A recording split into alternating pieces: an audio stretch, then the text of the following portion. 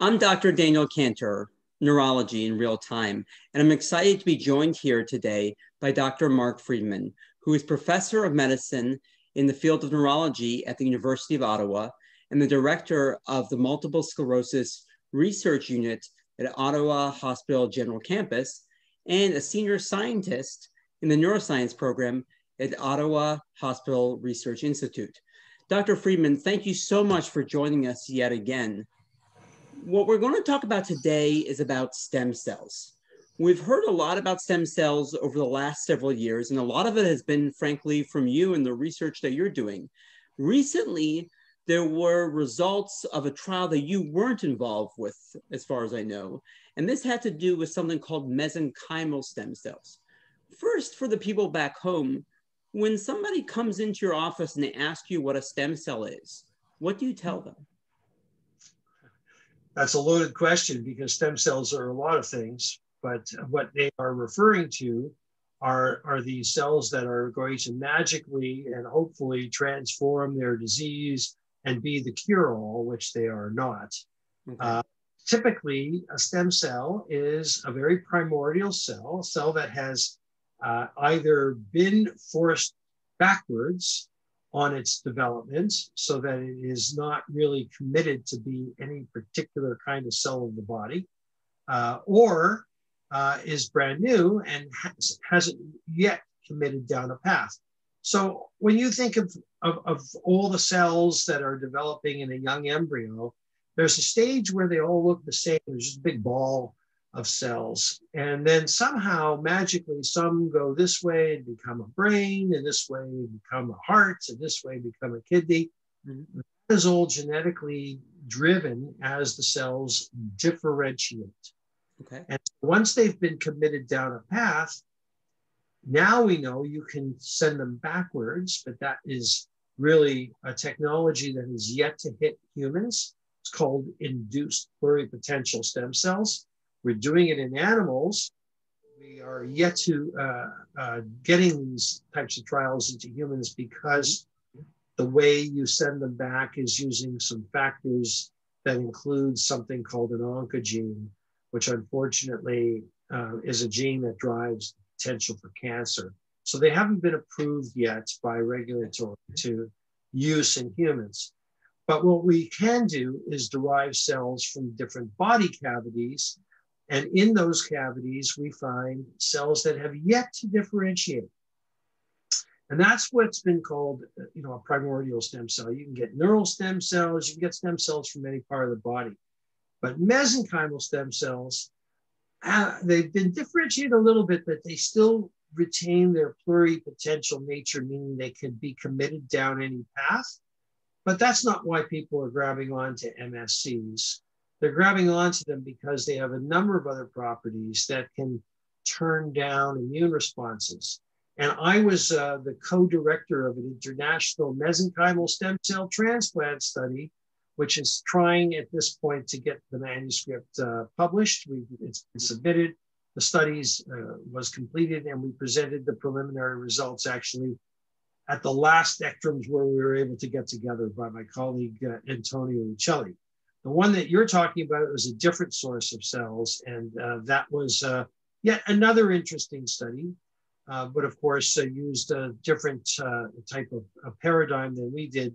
We injected all of our uh, patients intravenously, and some groups feel that that is not good enough.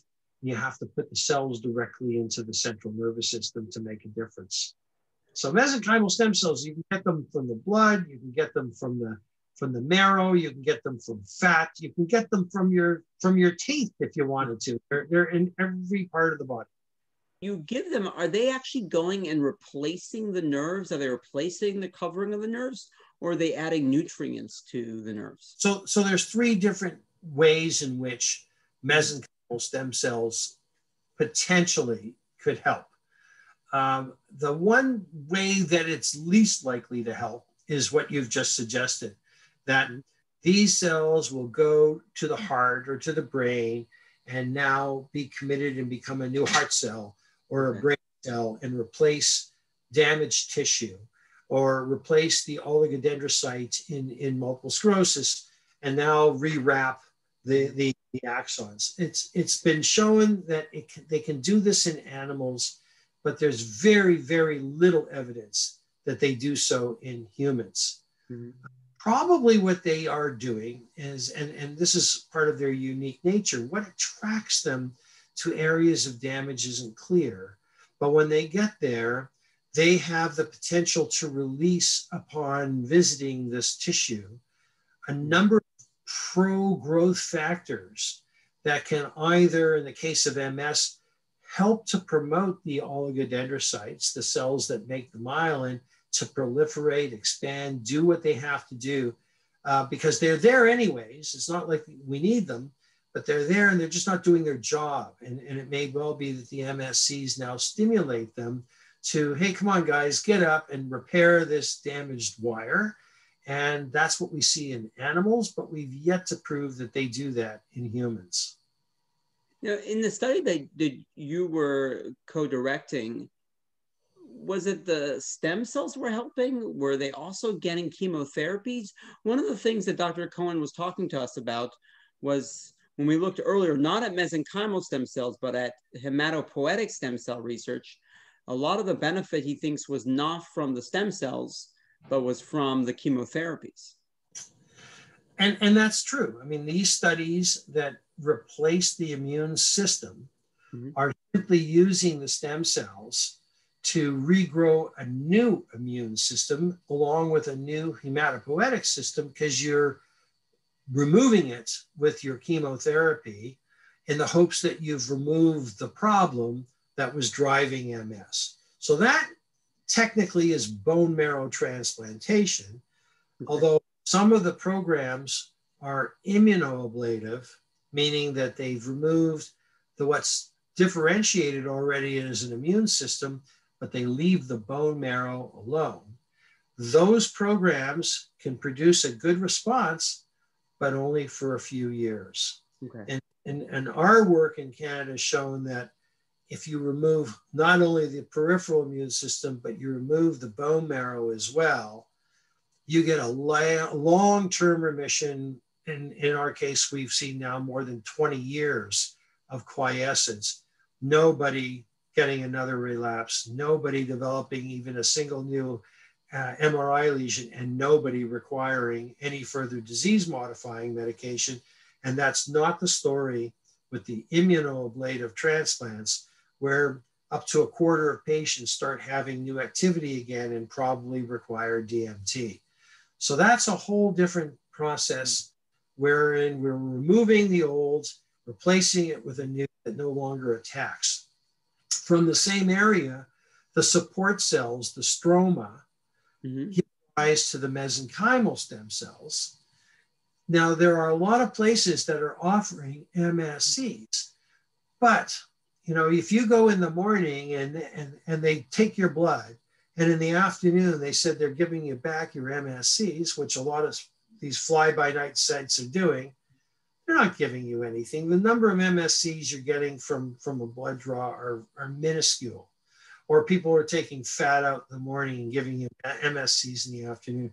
For the study I did with Antonio Uccelli, which by the way was no small undertaking, yeah. nine different countries, 22 different centers, all funded by the MS societies of their respective nations, ran a protocol using very similar recipe to make the MSCs from the patient's own bone marrow and giving it back to them. But before we could do that, we had to grow them in a center that can grow cells. It takes two to three weeks to generate mm-hmm. the one to two million per kilo dosing that we're using in these trials. You can't just do that in the morning and give the cells back in the afternoon. Right. So there's lots of centers that are just simply selling it to patients, but I'm not sure what they're selling. Well, that's important to say because I think some of the excitement that happens with stem cells, people sometimes look on the internet and they say, well, this place says they can give it to me. Why not just go there? And right. the answer is that they're probably not giving you very many stem cells, if any at all. If any at all, and and how are they giving it? Uh, this has been the debate with the uh, recent study that you interviewed Dr. Cohen about, where uh, they were giving it intrathecally. Uh, the same uh, technique of giving it both intravenous and intrathecal was used by the Israelis mm-hmm. in their recent publication of the uh, MSCs, but it was a single center. But mm-hmm. they all claimed that the intrathecal made a difference.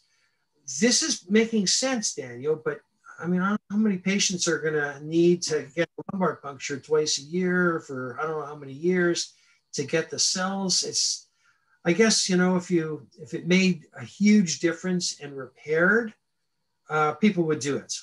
But uh, but it's a difficult sell because I, I haven't been convinced that it's been able to turn the people's disease around. Well, when you're when you're giving the cells, how do the cells know to go to the brain and areas of damage and not just go anywhere else? I mean, you're giving them. Let's just say you're giving it into the vein, right? So you're giving it intravenously. But let's say the person has heart disease or a little bit of kidney disease, or you know their joints aren't doing so well. Why are those cells going to go to the brain and not go to other places? it's a great question, and the signals that draw the the MSCs to damaged tissue haven't yet been worked out but even at our center, uh, long before we started the study in MS, um, Duncan Stewart, who heads our institute, actually uh, got funding to do it in, in heart attack patients. Mm-hmm. And in those cases, the MSCs migrate to the damaged heart tissue and mm-hmm. looks like they, they uh, um, either convince local cells to repair or somehow they're involved in themselves uh, repairing damaged heart tissue. So it's something about the MSCs, and maybe that's why they exist in our body, is that they can be called upon to enhance repair wherever it might be. There must be some universal signal that, that is a call out to these cells, especially when you think about it, you're giving them intravenously. Mm-hmm. The first place they go is the lung. Mm-hmm. And a lot of people think that the lung is just like your gut and your skin an immune organ. Mm-hmm. And it is. We know that all too well from COVID, don't we? So the lung is a real ripe area that can uh, stimulate our immune system. There may be certain factors that act on these cells as they transition the lung that somehow redirects them into where they need to go because they find we've seen that they actually migrate to these tissues if you do the look at the animal studies where they tag the cells, they end up where they have to go. Right. Uh, and, and, in the case of uh, MS, uh, the model that was used was EAE, and they went right into the brain, mm-hmm. and you can see them there next to the oligodendrocytes uh, where they needed to be. What are your next plans for the international collaboration that, that you've been co-directing? Well, obviously, to work on a stem cell trial uh, with independent centers like we were doing um, is just way too tedious and, and, not feasible if we were to say prove that it worked you're going to need the industry to help you out here uh, we were able to grow cells for no more than say two people at a time in, in our stem cell facility and, and that when you have thousands of people mm-hmm. clamoring for a therapy that's not going to work. And, right. and need uh, uh, some one of our uh, our industry sponsors or, or industry members who are, are, just working now to develop themselves into stem cell facilities where you can mass produce uh, a stem cell product. And, and I think that's the next level. So, sort of what was happening with the, the study that Jeff was involved in, mm-hmm. there's a company that's producing those cells we need to uh, move forward with something similar like that. Our study involved nine countries and 22 different centers, and you can argue 22 different preparations. You need some uniform preparation given to a number of people, and the only way you're going to do that is to partner with industry. Okay. Well, Dr. Freedman, thank you so much for joining us yet again. And everyone back home, thank you for watching Real Time Neurology. Thanks, Daniel.